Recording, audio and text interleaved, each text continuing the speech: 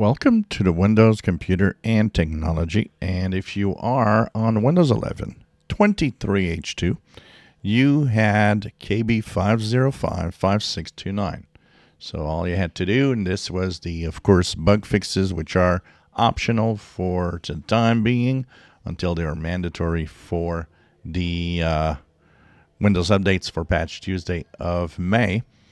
So KB5055629 will appear, of course, in Windows Update. It will be a uh, update that you can install if you want. I always think that it's better to wait. There's been a lot of problems with some of the bug fixing updates.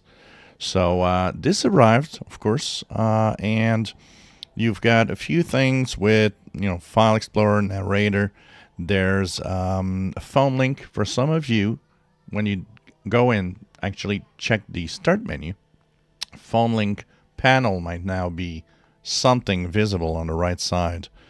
Um, there's, of course, um, other little things, including um, something that has to do with the way that icon uh, icons uh, are behaving on the uh, start menu.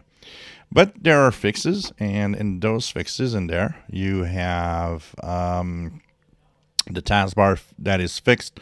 Um, if you use the arrow keys, uh, pressing Windows key and T, uh, the arrows move in the wrong direction for some uh, of you, like in different languages like Arabic and Hebrew. Uh, there's also uh, some um, issues that are fixed with Excel.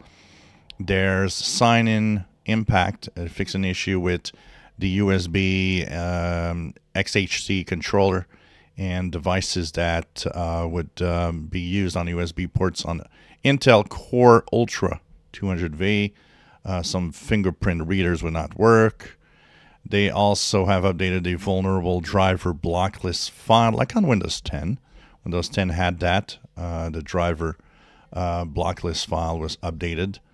And there's, of course, some Xbox um, things that have been fixed also.